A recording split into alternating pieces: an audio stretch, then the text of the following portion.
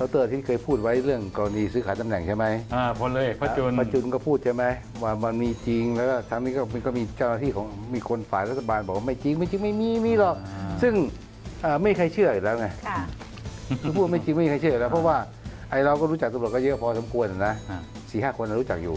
แล้วเขาก็พูดอย่างนี้เท่านั้นนะอันนี้ก็ตำรวจก็บอกว่าไอ้เจ็ดแสนมันอัตราพลตำรวจครับวิ่งพลตำรวจอย่างเดียวคือไอ้ที่เป็นสารวัตรนี่เป็นล้าน คือเรื่องในวงการตำรวจนะเป็นสิ่งที่ประชาชนรับรู้หมดในหลายๆเรื่องนะซื้อขายตำแหน่งนะอืมอ่า